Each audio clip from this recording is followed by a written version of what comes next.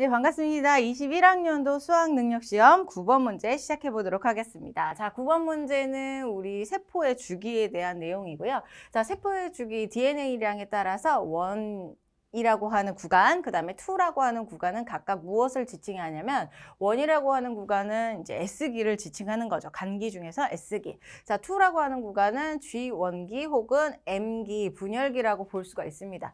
복제한 다음에 DNA량이 두 배로 증가한 상태. 그리고 M기에 의해서 이제 분열이 일어나면 다시 G 원기로 가면서 DNA량이 반으로 감소되게 되는 거죠. 자, 나의 핵형을 보면 핵형 봤을 때 21번 염색체가 3개 3 개인 걸 볼 수가 있어요. 21번 염색체가 3개인 것은 다운 증후군인 것을 알 수 있고 여기에서 성이 XY이기 때문에 남성임을 알 수가 있습니다.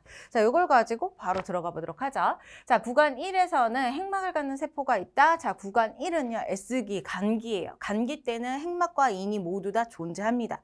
분열기 때 사라졌다가 다시 나타나게 되죠. 그래서 핵막을 갖는 세포가 있는 게 맞습니다. 나에서 다운 증후군의 염색체 이상이 관련, 관찰된다. 여기에서 관찰되고 있죠.